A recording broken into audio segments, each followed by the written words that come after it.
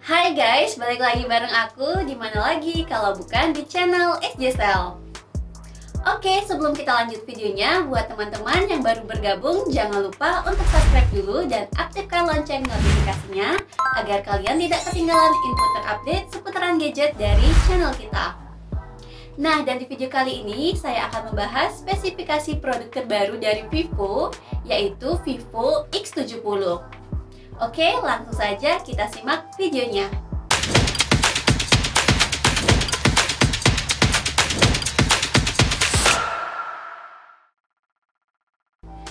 Dari segi desainnya, Vivo X70 memiliki bodi dengan dimensi 160,1 x 75,4 x 7,6 mm dan dengan berat 181 gram. Untuk layarnya, smartphone ini menggunakan panel layar AMOLED yang berukuran 6,56 inci dengan resolusi Full HD Plus 1080 x 2376 pixel.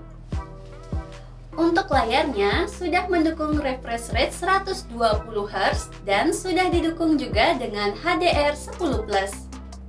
Nah, untuk warnanya, Vivo X70 hadir dengan dua pilihan warna, ada Cosmic Black dan Aurora Dawn.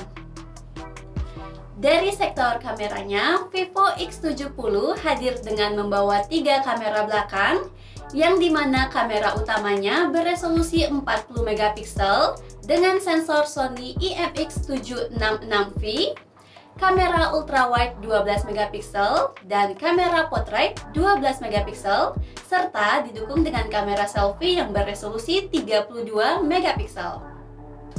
Dari segi performanya, Vivo X70 hadir menggunakan chipset MediaTek Dimensity 1200 5G dan didukung dengan CPU octa-core dan GPU Mali G77 MC9 serta sudah menggunakan sistem Android 11 dengan tampilan antarmuka Origin OS 1.0 dan untuk RAM dan penyimpanannya Vivo X70 memiliki tiga varian RAM yaitu ada RAM 8 internal 128GB, RAM 8 internal 256GB dan RAM 12 internal 256GB.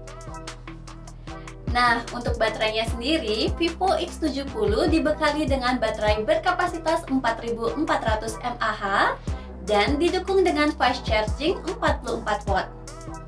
Untuk sektor keamanannya, smartphone ini dilengkapi dengan fingerprint in display. Vivo X70 juga sudah dilengkapi dengan beberapa fitur lainnya seperti Bluetooth, Wi-Fi, dan juga sudah mendukung fitur NFC serta menggunakan USB Type-C.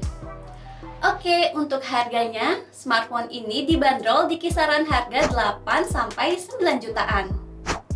Nah, itu tadi sedikit spesifikasi dari Vivo X70. Oke guys, cukup sekian video kali ini. Terima kasih sudah menonton. Seperti biasa, jangan lupa untuk di like, komen, dan share video ini ke teman-teman kalian ya. Dan sampai ketemu lagi di video-video selanjutnya. Bye!